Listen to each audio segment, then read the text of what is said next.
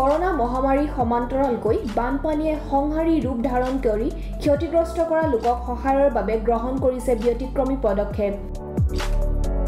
নিজে চিত্ৰ অংকন কৰি বিক্ৰী কৰা ধনেৰে সহায় কৰিব বানপীড়িত লোকক। শিৱসাগৰ জিলাৰ আমগুৰি পৌৰসভাৰ পাঁচ নং ৱাৰ্ডৰ যুৱকজনৰ নাম নিতু দাস। আমগুৰি স্বেচ্ছাসেৱী সংগঠন সৃষ্টিৰ সহযোগত যুৱকজনে ৰূপায়ণ কৰা এই পদক্ষেপলৈ বিভিন্নজনে সঁহাৰি আগবঢ়াইছে। যুৱ শিল্পী নিতু দাসে যিকোনো ব্যক্তিৰ ছবি অংকন কৰি সেই ব্যক্তিয়ে প্ৰদান কৰা ধন বানপীড়িতক সহায় কৰিবৰ কাৰণে সংগ্ৰহ কৰিছে।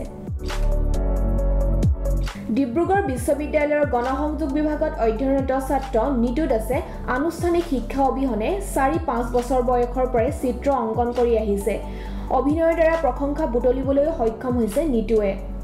সম্প্ৰতি কৃষক নেতা Akhil Gogoi Bishnuprasad Rabha doctor Bhupen Hazarika Charlie Chaplin Hiren Bhattacharya Deeplina ডেকাকে ধৰি বহুজন সমাদৃত ব্যক্তিৰ চিত্ৰ অংকন কৰিছে নিতু দাসে মই এটা কাৰ্যসূচী হাতত লৈ লৈছিলোঁ যে মই কোনো এজন ব্যক্তি এখন স্কেটছ পৰ্ট্ৰেট আঁকিম আৰু সেই পৰ্ট্ৰেটৰ বিনিময়ত তেখেতে যি এটা এমাউণ্ট মোক প্ৰদান কৰে যিমান টকাই হওক সেয়া সেই গোটেই এমাউণ্টটো সেই বানপানী সাহাৰ্য লোকসকলৰ কাৰণে খৰচ কৰিম। সেই কাৰ্যসূচীত হাতত হাতত তুলি লৈছোঁ।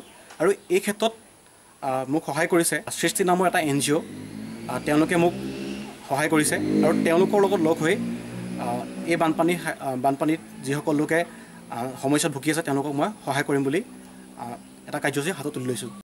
আনহাতে কণ্ঠশিল্পী জুবিন গাৰ্গৰ এখন ছবি অসমীয়া বাংলা আৰু হিন্দী গীতৰ আঠশ সাতষষ্ঠিটা গীতৰ নামেৰে ছবি অংকন কৰিছে। ইতিমধ্যে চিত্ৰ অংকন কৰি পাঁচ দিনত চাৰি হাজাৰ টকা সংগ্ৰহ কৰা নিতু দাসে আৰু বিছ দিনৰ ভিতৰত চিত্ৰ অংকন কৰি লাভ কৰা ধনেৰে বানপীড়িতক সহায় কৰিব বুলি জানিবলৈ দিছে। এইজন শিল্পীক আপোনাৰো এখন ছবি আঁকিবলৈ দি বানপীড়িতক সহায়ৰ বাবে বৰঙণি আগবঢ়াব পাৰিব।